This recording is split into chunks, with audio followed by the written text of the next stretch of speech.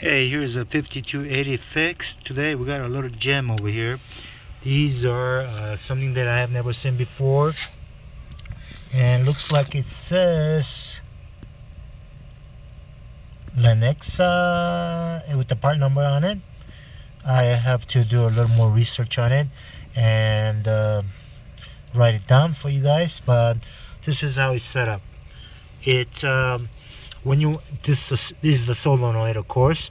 However uh, in order to remove the solenoid that's a charge with these uh, low voltage right here. You have to remove this little cap and uh, this slider portion of it. Uh, this is how you turn the uh, water uh, manually on and off instead of having one kind of like this Rain Bird over here. So this entire system the solenoid cylinder is built into the unit and uh, when it's charged it pulls up pulls up to let the water flow and once it, it is discharged it pulls back into the system so it's locked up so you do not get any leakage out of it. So uh, let me show you the ones that I took out. Looks kind of like this right here.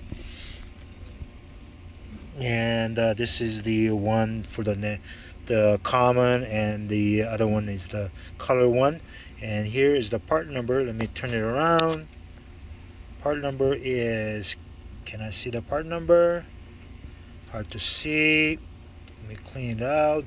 76605 and um, it's very simple to change it out. What to do is just pull it out and swap it out a new one when your problem is you gotta find one